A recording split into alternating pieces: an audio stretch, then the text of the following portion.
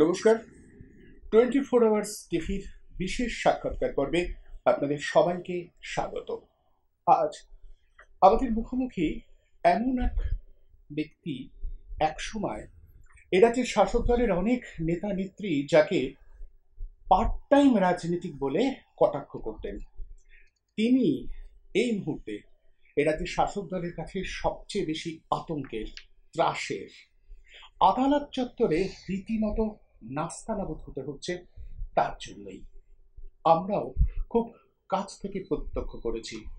প্রতিবাদ আর প্রতিরোধের এই বিকাশকে। হ্যাঁ বিকাশ রঞ্জন ভট্টাচার্য। আজ আমাদের মুখোমুখি আইনজীবী বিকাশ রঞ্জন ভট্টাচার্য, সাংসদ বিকাশ রঞ্জন ভট্টাচার্য। বিকাশ দা আপনাকে নমস্কার, নমস্কার। অনুষ্ঠানে স্বাগত। বিকাশ দা আমি প্রথমেই যে বিষয়টা আপনাকে জিজ্ঞাসা করলাম যে একসময় পার্ট টাইম রাজনীতিক বলে কটাক্ষ করতো আর এখন সব থেকে বেশি গাত্রদাহ আপনাকে নিয়ে এটা আপনাকে কতটা শ্লাঘা দেয়? না যারা যখন পার্ট টাইম রাজনীতিবিদ বলতেন তখনও তারা না বুঝেই বলেছেন। অনেকের কাছে ধারণা আছে রাজনীতি করা মানে শুধুই রাজনীতি করা অন্য কিছু করা যায় না।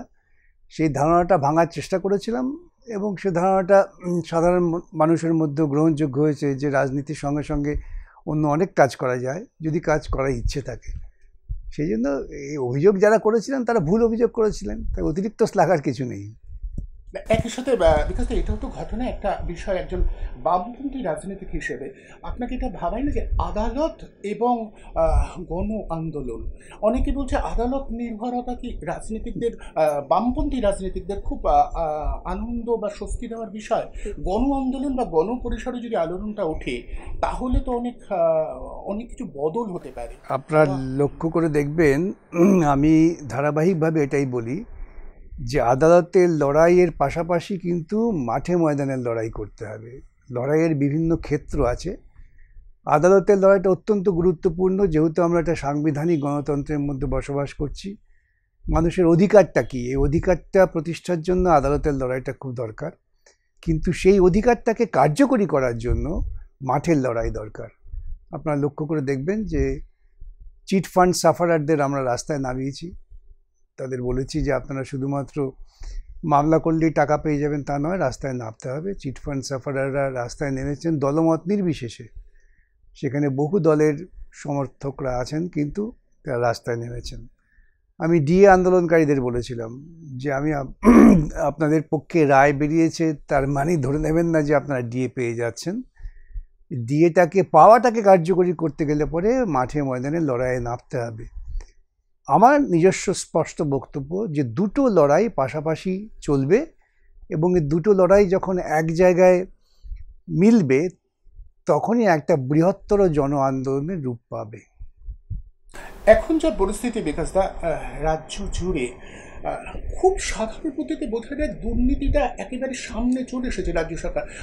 অনেকে বলছে যে অন্যান্য ক্ষেত্রে যদি সামাজিক চাপটা প্রবল হতো তাহলে এই সরকার টিকে থাকতে পারে না। যেভাবে সর্বস্তরে দুর্নীতিটা প্রকাশ্যে চলে এসেছে এবং এটা নিয়ে প্রমাণের অপেক্ষা রাখছে না। প্রত্যেকটা জায়গায় তৎসত্ত্বেও সরকারটা নিশ্চিন্তে থাকছে সেটা- পারছে কি করে?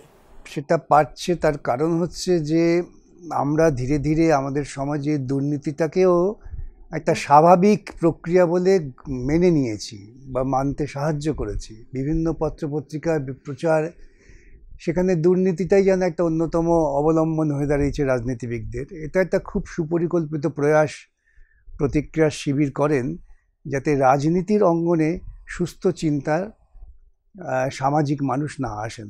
রাজনীতির অঙ্গন যত দুর্নীতিগ্রস্ত থাকবে, ততই কিন্তু ধান্দাবাজ যারা আমরা বলি ধান্দাবাজি পুঁজিতন্ত্রের মানুষ, যারা মানুষকে শোষণ করেন, তাদের সুবিধা হবে। সেই পরিকল্পনা মাথায় রেখেই তারা এটা করার চেষ্টা করেছেন।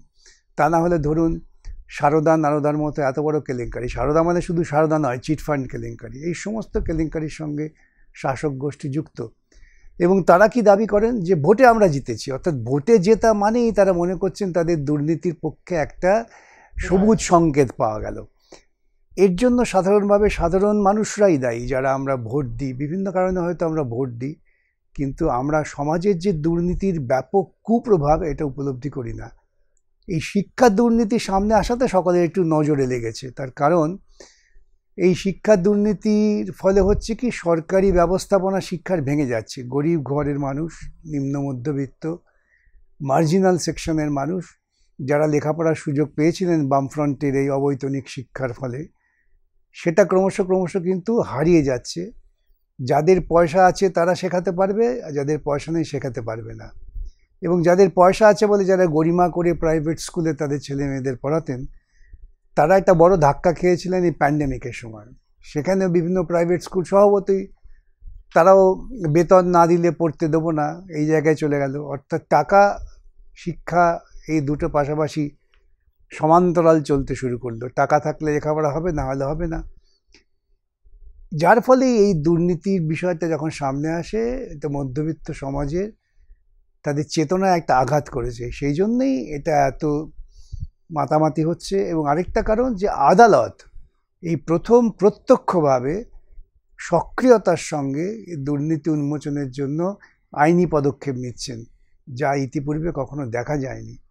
সেজন্যে এই শিক্ষা দুর্নীতিটা একটি নতুন আলোড়ন তৈরি করেছে। ঠিক আমরা যখন এখন কথা বলছি বিকাশ দা সেই সময় যাদবপুরে রীতিমতো হইচই হচ্ছে আলোড়ন উঠেছে। যাদবপুরের ঘটনা কোথাও মনে হয় না যেভাবে আমাদের রাজ্যের প্রশাসনিক প্রধান একেবারে মার্কস মার্ক্সবাদীদের দিকে টার্গেট করলেন কোথাও মনে হয় না সব ধরনের বামপন্থী রাজনীতিকে আক্রমণ করাটাই একটা লক্ষ্য? বটেই তো প্রতিক্রিয়ার একটাই লক্ষ্য। আরএসএস দেখবেন আরএসএসের জন্মের প্রথম শর্তই হচ্ছে কমিউনিস্ট বিরোধিতা এবং মুসলিম বিরোধিতা। এবং এই কমিউনিস্ট বিরোধিতার যে পথ, সে পথটাকে সুন্দরভাবে পথ চলা শুরু করেছেন মমতা বন্দ্যোপাধ্যায়। তিনি যখন যাদবপুরে আজকে বলছেন যে ওখানে বামপন্থীদের, তাহলে একটা তিনি স্বীকার করছেন যে উৎকর্ষর সঙ্গে বামপন্থা যুক্ত আছে এক। দুই হচ্ছে আরেকটা গুরুত্বপূর্ণ বিষয় যেটা আলোচনা আসছে না যাদবপুর বিশ্ববিদ্যালয় ভারতবর্ষের মধ্যে একটা ইনস্টিটিউট অফ এক্সেলেন্স অর্থাৎ উৎকর্ষ শিক্ষা প্রতিষ্ঠান তার পরিকাঠামো তৈরি করার জন্য রাজ্য সরকারের দেওয়ার কথা ছিল চারশো কোটি টাকা। রাজ্য সরকার যদি চারশো কোটি টাকা দিত তাহলে কেন্দ্রীয় সরকার দিত এক হাজার কোটি টাকা। সেই টাকা দিয়ে কিন্তু যাদবপুর বিশ্ববিদ্যালয়ের পরিকাঠামো বাড়ত এবং তারা ইনস্টিটিউট অফ এক্সেলেন্সের মর্যাদা পেতেন। এই রাজ্য সরকার সেই টাকা দেননি। অথচ রাজ্য সরকার মন্দির তৈরির জন্য টাকা দিচ্ছেন। তার মানে এই রাজ্য সরকার শিক্ষা, শিক্ষার ব্যাপকতা, শিক্ষার উৎকর্ষ এবং যাদবপুর বিশ্ববিদ্যালয়ের ছাত্ররা আজকে পৃথিবীর বিভিন্ন প্রান্তে ছড়িয়ে আছেন খুব সাফল্যের সঙ্গে। এই গরিমাটাকে আমরা কোনো মতে আর মেনে নিতে পারছি না। কারণ মেনে নিতে গেলে পরে আমার কিছু দায়বদ্ধতা থাকে, ওই যে বললাম চারশো কোটি টাকা দিতে হয়। আমি চারশো কোটি টাকা শিক্ষা অঙ্গনকে না দিয়ে আমি মন্দির তৈরি করার জন্য দিচ্ছি। আমি ওই লক্ষ্মীশ্রী রূপশ্রী এই সমস্ত যত বিশ্রী প্রকল্প আছে সেখানে টাকা অপচয় করছি। কিন্তু আমি শিক্ষার ক্ষেত্রে টাকা ঢালছি না। এই যেটা রাজনৈতিক দৃষ্টি কেন? দেখবেন এটা হচ্ছে নতুন যে এডুকেশন পলিসি করেছেন মোদি তারই প্রতিফলন। নতুন এডুকেশন পলিসির মূল কথাই হচ্ছে শিক্ষা হ্যাঁ একটা মান্যতা দিচ্ছে না। রাজ্য সরকার অত্যন্ত দ্রুততার সঙ্গে তা কার্যকরী করছেন। এবং তার প্রথম কথাই হচ্ছে যে শিক্ষা হচ্ছে পণ্য। যার ক্ষমতা আছে সে নেবে, যার নেই সে নেবে না। সেই জায়গায় আজকে রাজ্য সরকার, কেন্দ্রীয় সরকারের অদ্ভুত মিল। তাই উভয়েরই আক্রমণ যাদবপুর। যাদবপুরে বামপন্থী বিচ্যুতি, উগ্র বামপন্থা, তারা তো মমতার সঙ্গেই আছেন। আমরা দেখেছি তো যাদবপুরে আজকে যারা এই বিশৃঙ্খলা সৃষ্টি করছেন, যে ছাত্র সম্প্রদায় আজকে ধরা পড়ছে, তারা সকলেই তো মমতার পক্ষে দাঁড়িয়েছিল সুতরাং মমতা সুস্থ চিন্তার বামপন্থার বিরুদ্ধে রুখে দাঁড়াবেন এটা খুব স্বাভাবিক। বিকজ দ্য গোটা দেশের যদি পরিমণ্ডল আমরা দেখি ক্রমশই অনেকেই এরকম আশঙ্কা বা আতঙ্ক প্রকাশ করছেন যে হঠাৎ হয়তো ফ্যাসিবাদের উত্থান ঘটে যেতে পারে। এক্ষেত্রে বামপন্থীদের ভূমিকা মানে বামপন্থীদের একটা গুরুত্বপূর্ণ ভূমিকা রাখবার কথা ছিল। কোথাও মনে হয় না যে বামপন্থী আন্দোলন বামপন্থী আন্দোলন দুর্বল হওয়ার পরে ফলে গোটা দেশ জুড়ে এই ফ্যাসিবাদের জায়গাটা হচ্ছে এবং অন্যান্য আঞ্চলিক দলগুলো যারা মনে করছেন যে বিজেপিকে আটকালেই ফ্যাসিবাদকে আটকানো যাবে তারাও কি এটাও ভুলে গেছে যে মমতা কিংবা কোথাও কোথাও আঞ্চলিক দলগুলো এই ফ্যাসিবাদের সঙ্গে রয়েছে। আপনার প্রশ্নের সূত্র ধরেই বলি যে বামপন্থা দুর্বল হলে ফ্যাসিবাদের উত্থান হবে এটা খুব স্বাভাবিক ঐতিহাসিক ঘটনা। সেই জন্যেই বামপন্থীকে দুর্বল করবার জন্য দেখেছি আমরা সিঙ্গুর নন্দীগ্রামকে কেন্দ্র করে ভারতবর্ষের সমস্ত প্রতিক্রিয়াশীল শক্তি এক জায়গায় জড়ো হয়েছিল। সেদিকে পার্লামেন্টে বিজেপির এক এমপি তো বললেনি যে মমতার উত্থানের পেছনে বিজেপির অবদান আছে এটা সত্য ঘটনা। এখন কিন্তু বামপন্থীরাই লড়াই করছে। আজকে গোটা ভারতবর্ষব্যাপী যতটুকু লড়াই হচ্ছে, সেই লড়াইটা কিন্তু মূল কেন্দ্রবিন্দু বামপন্থীরা অন্য অন্য গণতান্ত্রিক ধর্মনিরপেক্ষ শক্তিও তার সঙ্গে যুক্ত হয়েছেন। এটাও সত্য। দেখবেন আজকে ফ্যাসিবাদী কার্যক্রম কোথায় পৌঁছে গিয়েছে?